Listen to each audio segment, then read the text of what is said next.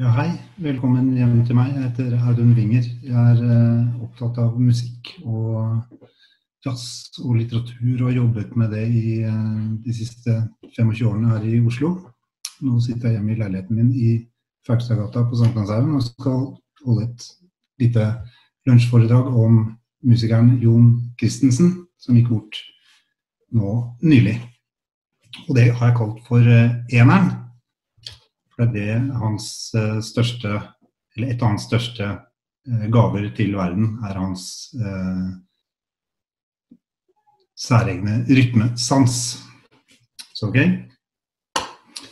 I februar i år gikk den norske jazzmusikeren og trommemesteren Jon Christensen bort. Kun noen uker før det som skulle vært hans 77-årsdag. Om det er noen som har funnet på en egen norsk bit, så må det være han. Nordmenn eier ikke rytmesans, heter det. Vi snakker om noe som heter the Norwegian stiffness syndrome. Men Jon Christensen er det største beviset på at det utsagnet kun er en myte. Det var en sterk opplevelse å være i hans bisettelse rett før alt dette merkelige og skremmende som de fleste av oss nå lever i, i våre tusen karantenehjem. I en stappfull sagende kirke i Oslo sto noen av verdens fineste jazzmusikere og spilte nede i kirkegangen da vi ankom kirka. Og resten av disse musikerne satt øyensynlig på benkeradene rundt om. Det ble nesten som en liten jazzfestival i miniatyr. Det eneste som mangla, var pilsen. Talene var rørende og brutalt ærlige, slik det gjerne kan være i begravelser og tidvis morsomme, men hele tiden det vi kaller for jazzikalske. Jeg vil si til og med presten var på biten hele veien. Det var nesten som man hevet øyenbrynene der man satt. Vi hørte klassikeren My Song over kirkeorgelet. Svenskenes aller største jazzprofil, Bobo Stensson, spilte inderlig vakkert på pianoet. Og vi fikk søren meg også høre en lattermild låt av Øystein Sunde på teip over anlegget. Han kunne ikke komme fordi han var, hadde mista stemmen og skulle spille konsert samme kveld. Og sånn er livet i musikerverdenen. I en sedvanlig anekdotisk tale i bisettelsen fra Bass Boss og venn Arild Andersen forklarte Andersen lett om den frie og rytmiske bølgen som de to spilte frem og gjorde til sitt karakteristiske kjennetegn fra slutten av 60-tallet og utover da den såkalte eneren i biten ikke lenger ble like bastant eller opplagt for den som hørte på. Og den bølgen de eh, skapte den gangen, er en bølge vi fortsatt lever i etterdønningen av. Til slutt, i denne bisettelsen, så reiste en enorm ansamling musikervenner seg fra plassene sine og fant frem instrumentene sine. Og de fremførte Jon Balkes vanvittig gripende marsj 'Konge' mens kisten, familien, vennene og alle oppmøtte sakte gikk ut av kirka, ut i skarp vindsol, og synet av 54-bussen som kjørte forbi i all sin røde prakt. Da viste Christensens særegne time seg igjen, og klokken klang akkurat i tide. Alle i hans utvidede omkrets, som fans, arrangører, folk fra organisasjonsliv, journalister og medlemmer i samme jazzsekt, som vi, vi fortsatt kan kalle det, hadde blitt frarøvet en kul kompis og en slags kontakt med selve kjernen og historien i jazzen i Norge. For hele det tankesettet og vibben, om vi kan bruke et sånt ord, av jazz, og hvordan den har utviklet seg i norsk musikk, men også i norsk kultur og samfunnsliv generelt, blir litt vanskeligere å gripe og forestille seg nå uten Johan Christensen. Han var til stede på trommestolen gjennom kraftige utviklingsbyks i norsk musikk- og kulturhistorie. Men ærlig talt, alle disse høytravende ord eh, for noe som er så skarve som en trommis, er ikke det litt rart? Jo da, eller nei da, blir vel riktigere å si. For det bare er noe med trommer. Hva skulle vi egentlig gjort uten? Dette sublime piskeriet. Den taktfaste aksentueringen av kunstneriske intensjoner. Symbolene som synger i ørene våre, og som kan lede oss inn i transelignende tilstander. Vispene som kanskje mer enn noe annet symboliserer selve jazzens kjerne. Det er de kjerner rundt på skarptrommeskinnet, som om det er rørosmør som kjernes. Den medbrakte rasleposens besnærende potensial, fylt med alskens rytmebagateller og fargestifter til. Det irriterende gnisset med trommestikken ytterst på ride-symbolen, eller det sjokkerende slaget på crash-symbolen. Det finnes også andre typer trommer. Men også trommeslagerne selv, kanskje de viktigste medlemmene i bandet, i hvert fall dem, i alle fall jeg, studerer mest nøye under konsertene. Vi studerer hvordan de lever seg inn i stoffet og i musikken og i trommesettet sitt. Og eksemplene er mange. Tenk f.eks. på Hans Hullbergmos sidestilte ansikt. Spisepinnene til scenmester Thomas Strønen. De beige svetteflekkene på Paul Nissen-Loves kortermede skjorte de på vei til en ny gig. Syv Øyunds mediterende positur. Olaf Olsens lange fletter og høye cymbaler. Og selvfølgelig, inntil for noen år siden, Jon Christensen og hans hodestilling. Lett bøyd mot høyre side. ensynlig ikke for å lage seg en kul stil, men fordi han hørte dårlig. Spesielt på venstre øre. Og det sies at dette er fordi han ble tatt med tang under fødselen og dermed fikk skadd hørselen allerede fra starten av. Med hodet på skross kunne han få ride-symbalens vibrasjoner rett inn i høyre øre og føle det bedre. Uten kanskje helt vite hvorfor, var det flere trommiser som adopterte akkurat den stilen. Og det ble i flere år den hippeste hodestillingen for trommeslagere. Lite visste de. om man kan tillate seg å være litt pompøs, og det er vel allerede for sent her nå her jeg sitter, handler det kanskje også om å bøye hodet ærbødig for Jon Christensen. I norsk sammenheng har trommeslageren nå usedvanlig høy status. Det er ikke bare en timekeeper eller en anonym skikkelse bak på scenen. Trommeslageren er en musikalsk kunstner på linje med de fleste saksofonister og pianister. Dette var noe Christensen selv var meget opptatt av i de første tiårene av sin karriere, og han skrev en dog indignerte lesebrev der han fremhevet trommeslagerens betydning i helheten. Antakeligvis lei av årevis med en forholdsvis anonym tilværelse i kompe bak forskjellige stjerner eller solister. Jeg spurte nylig den eh, unge trommeslageren Vesle med Narvesen under et intervju om hva det kunne komme av at vi hadde så mange store norske trommeslagere. Og hun hadde svaret klart. Det må være på grunn av Jon, det. Tenk at vi kunne få en sånn her i Norge. Det sitter jeg ofte og tenker på. Ja, tenk at vi kunne ha en sånn. Det er stort.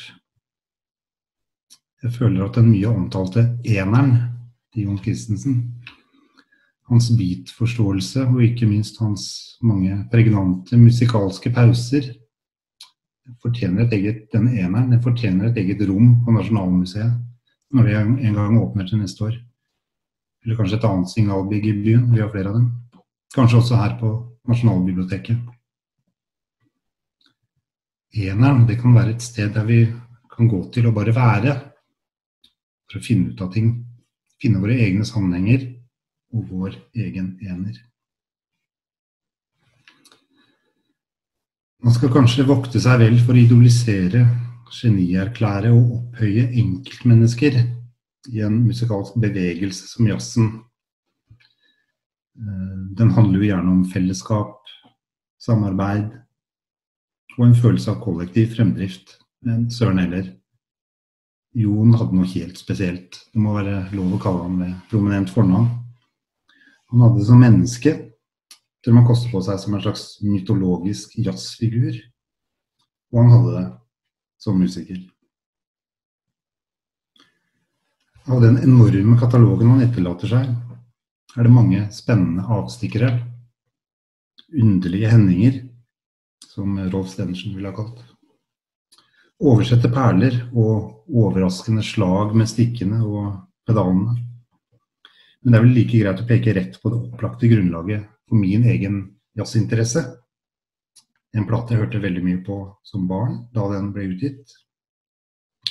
Antageligvis forlokket av de tiltrekkende, runde og fargerike formene på omslagsfotografiet, som kanskje symboliserer den bemerkelsesverdige samhørigheten vi hører i musikken. Jeg snakker selvfølgelig om eh, albumet 'Belonging' fra 1974. Den amerikanske stjernepianisten Keith Jarrett og hans skandinaviske band. Denne musikken har jo utrolig nok aldri mistet noe av sin kraft. I likhet med meg, som er født samme år som plata kom ut. Og den er på en måte gnidd inn i ryggmarg og ørekanaler hos meg og hos veldig mange i Norge, Europa og verden generelt. Og Jons eiendommelige time er gnidd inn sammen med resten av den. For når jeg hører på albumet 'Belonging', så hører jeg på Jon Christensen og hans trommer. Og slik er det faktisk med de fleste av platene han har medvirket på. Hvor enn karakteristiske og fremhevede de andre musikerne må ha vært. Og det han har jo virkelig spilt med mange store. Så den symbalstjernehimmelen som han tegner opp på sine gamle tyrkiske Siljan-symbaler, blir portalen til andre vidunderlige universer. Og Beatles blir noe spennende å gå på, men samtidig noe litt overrumplende som gjør at man kan miste balansen og falle nedi. Hans lyttende og frie spillestil revolusjonerte verdensjazzen. For eh, det er helt klart riktig å si at han tilhører verden vel så mye som Norge. Det må man ha.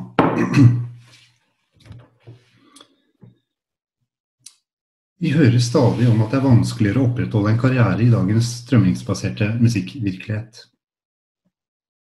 Men selv i et meget velfungerende norsk jazzkretsløp, som er basert på og avhengig av årlige uteksaminasjoner av store, unge musikertalenter, er det god og naturlig plass også for gamle kjemper. Og det er over 50 år siden en gjeng gutter fra Østlandet utga et historisk og superfriskt album under bandnavnet The Esoteric Circle. Bedre bandnavn, eller gjengnavn, er vel vanskelig å finne. Og den gjengen besto av eh, Jan Garbarek på saksofoner, bl.a. Arild Andersen på bass, Terje Rypdal på gitar, og da også Jon Christensen på trommer.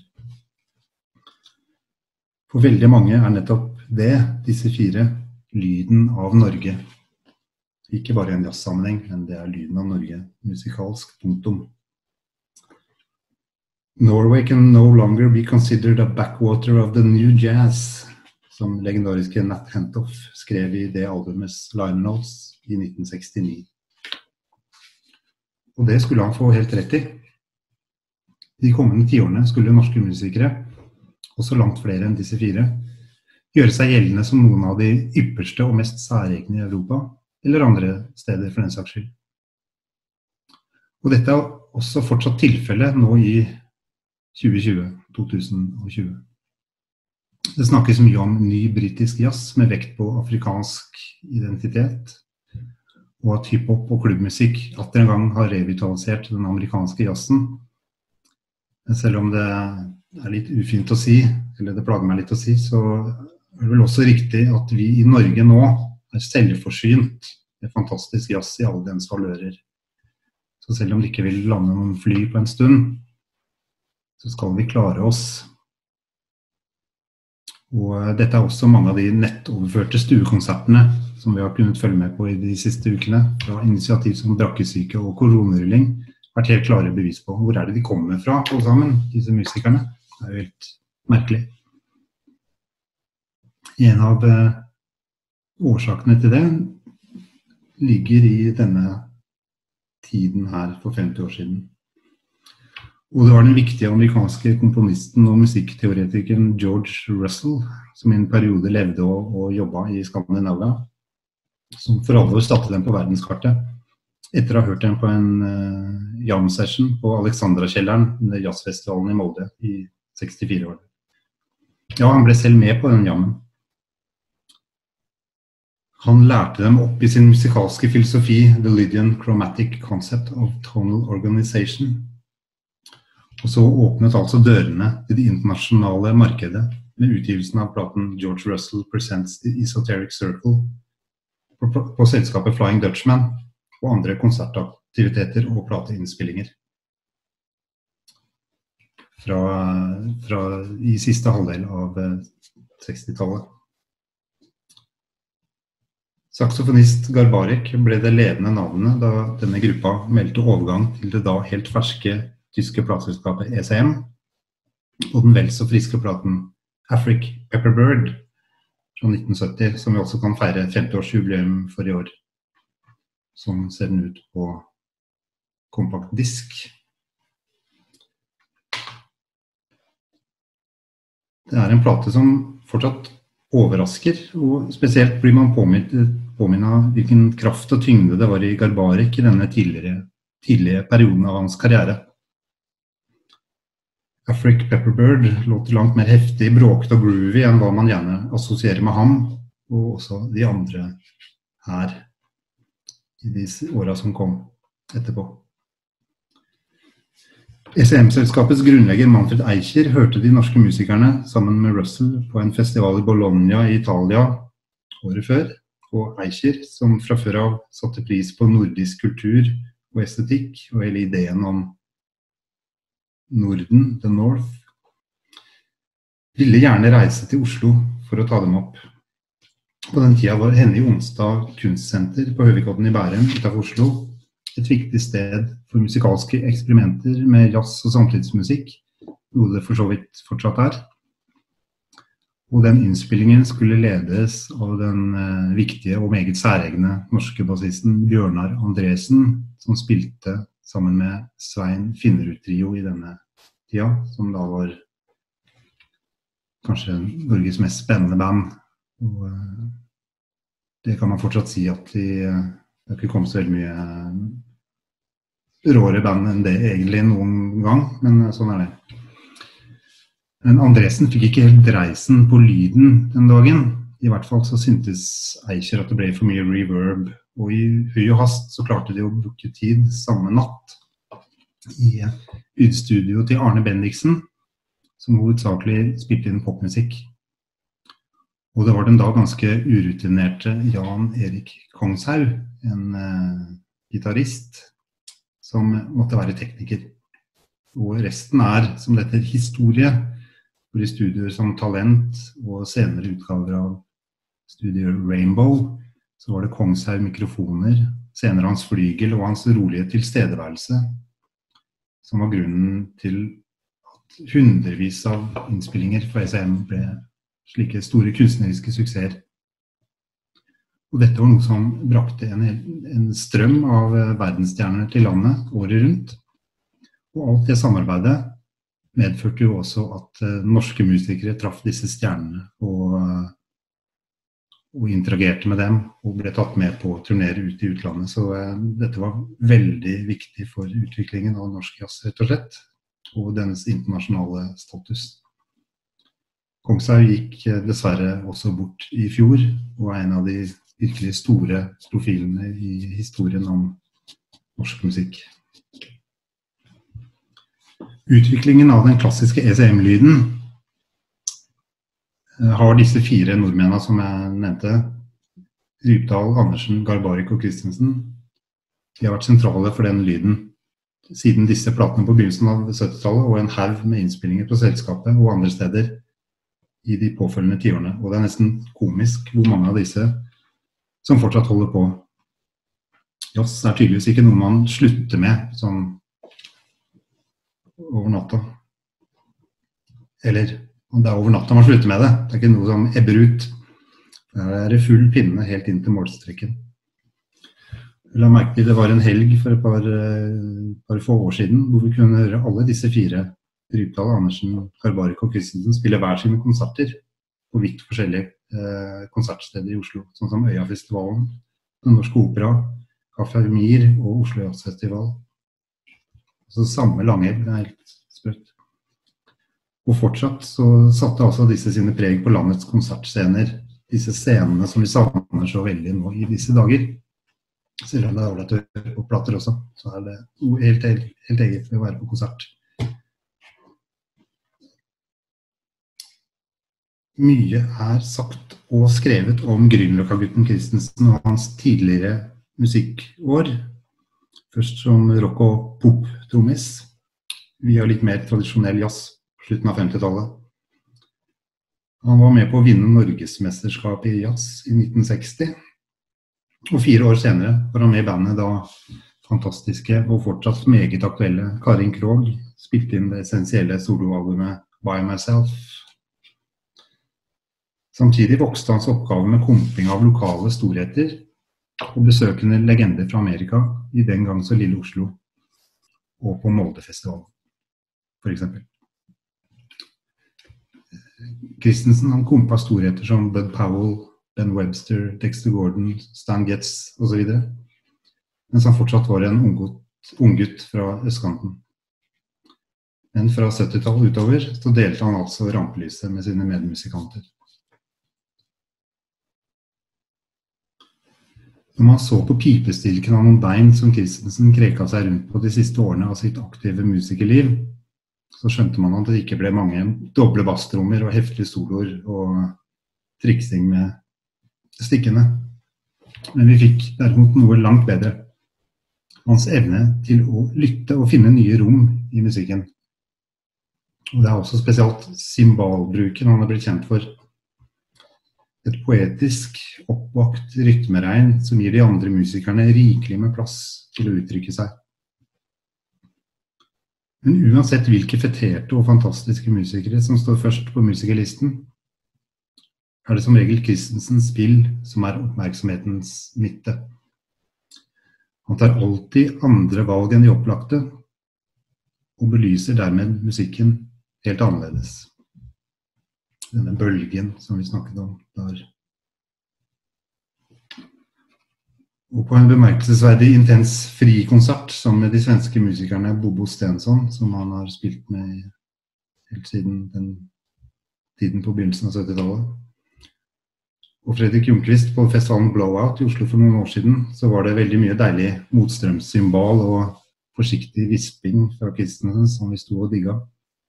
Men han ga også sitt sultne publikum en sjelden håndfull basstrommeslag, og til og med ett hardt kantslag på skarptromma. Dette er fire-fem kroppsbevegelser som jeg fortsatt kan snakke om med folk som var til stede i dag. Og det er litt spesielt, da, vil jeg si.